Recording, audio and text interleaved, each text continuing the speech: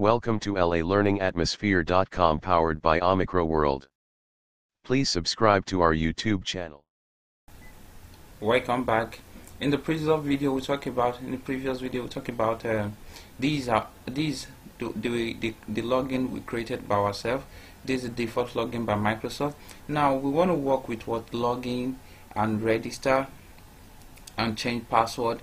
Now let's go back to our Visual Studio now these are Visual Studio working station. Now you can see in a login in a login um, extension file we have uh, change password create user wizard login um, login name login status login view and password recover now this is what we are talking about. We want to really what um, really talk about really talk about more about this login session and by default by Microsoft we have login register change password. Now we want to work with all this. Now um, let's go to our let's come here let's click our solution explorer. Now this is it. If you want to talk about uh, solution explorer go to view look for look for uh, solution explorer. Let's okay this is it go to solution explorer it will not be out if you want to come to properties you click on properties. Now if you want to go to solution explorer click on solution explorer. Now I want to create a folder. The folder name is what? Account. Now account. Now inside the folder I want to create want to create want to create add new items. Now want to create a, a form.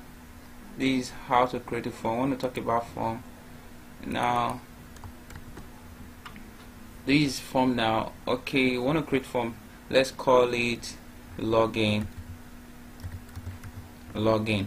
Now this login form these are the creative form web form. We are talking about web form. Now these are the creative form.